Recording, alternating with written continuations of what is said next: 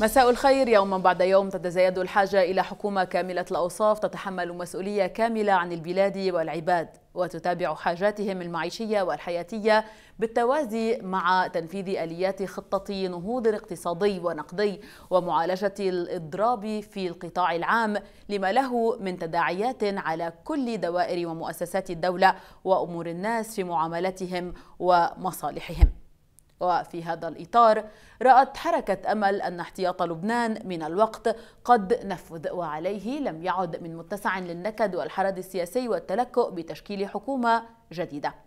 وفيما شددت الحركة على التمسك بوحدة الموقف اللبناني تجاه قضية ترسيم الحدود البحرية وحماية ثرواته والإصرار على الاستفادة الكاملة منها في مقابل المحاولات الإسرائيلية المستمرة للاعتداء عليها وتوظيف كل عناصر القوة من أجل هذا الأمر.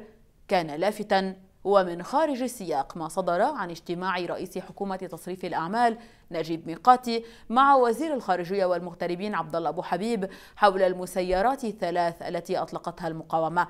لناحية أن لبنان يعتبر أن أي عمل خارج إطار مسؤولية الدولة والسياق الدبلوماسي الذي تجري المفاوضات في إطاره غير مقبول ويعرضه لمخاطر هو في غنى عنها. وأهب البيان الذي تنصل من المسيرات بجميع الأطراف التحلي بروح المسؤولية الوطنية العالية والالتزام بما سبق وأعلن بأن الجميع من دون استثناء هم وراء الدولة في عملية التفاوض مطالبا بوقف الانتهاكات الإسرائيلية المستمرة لسيادته بحرا وبرا وجوا.